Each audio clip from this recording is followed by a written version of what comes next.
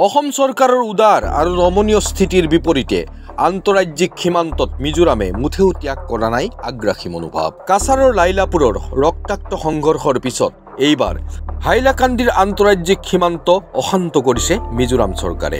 আইজলত অসম চৰকাৰৰ দুগৰাকী মন্ত্ৰীৰ সৈতে হোৱা শান্তি চুক্তিৰ পিছতো অসমৰ মাটি দখলৰ ক্ষেত্ৰত পুনৰ যুযুধান ৰূপ লৈছে মিজো দুৰ্বৃত্ত আৰু আৰক্ষীয়ে।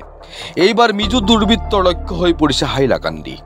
হাইলাকান্দিত অসমৰ ভূমিত সশস্ত্ৰ মিজো দুৰ্বৃত্তই পথ নিৰ্মাণ চৰকাৰী বিদ্যালয় জিলাখনৰ কচুৰথল নামৰ অঞ্চলত মিজোৰামে যুযুধান ৰূপ লৈ কালভাৰ্ট নিৰ্মাণ আৰম্ভ কৰিছে।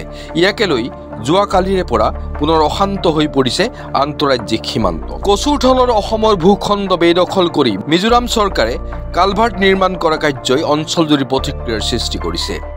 News desk report D B news Guwahati. DB News